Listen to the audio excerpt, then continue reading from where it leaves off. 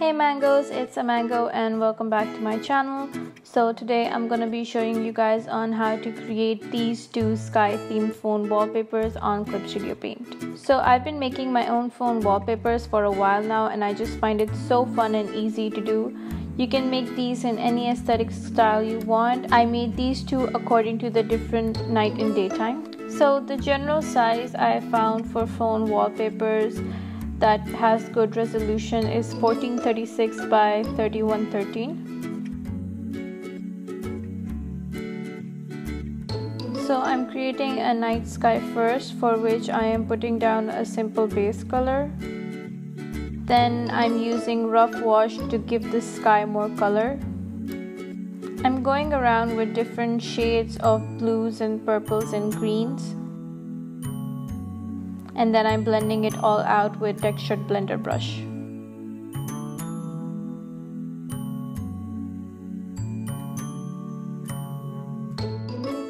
Next I'm using airbrush and I'm using a variation of tone scraping droplet spray to give a starry effect. With this you really have to eyeball it and see what looks best according to your drawing.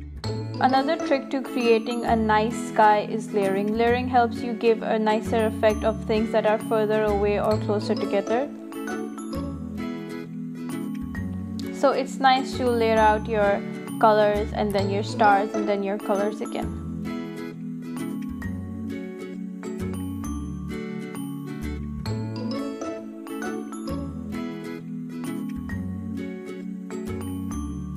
Give this nice circle effects of stars, I use the droplet brush and I just increase the thickness.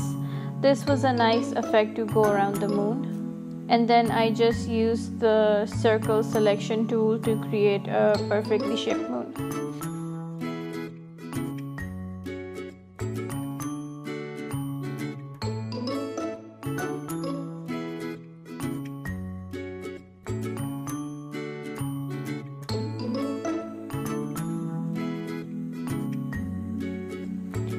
I also used the circle selection tool to create a white ring around the moon that I just blended it out to give a sort of hue. This little trick helps centralize the moon a lot more.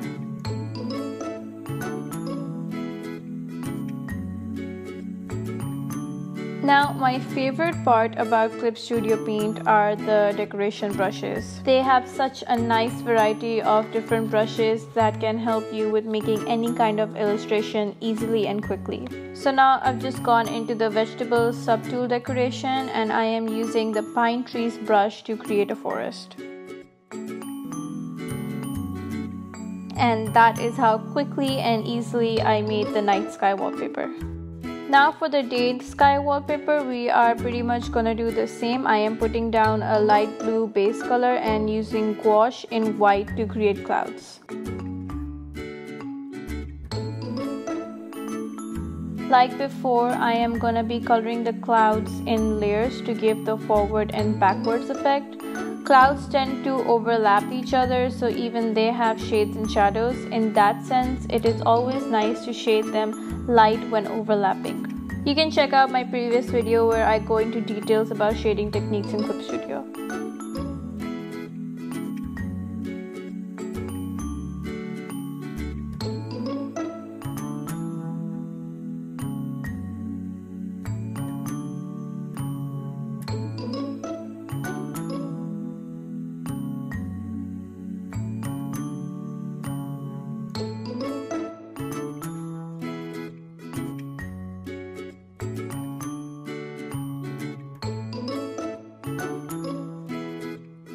So once I am done with creating the clouds, I move on to creating the telephone pole. I don't know what it is about telephone poles, but they are always fun to look at in any drawing.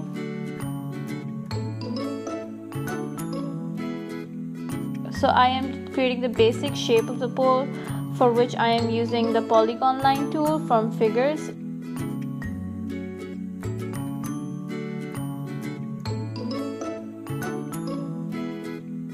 And for the cables, I am using the basic pincer curve tool.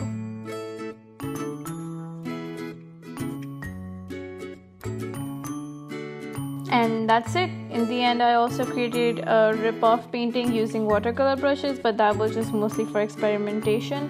But this is how easily you can create your own phone wallpapers.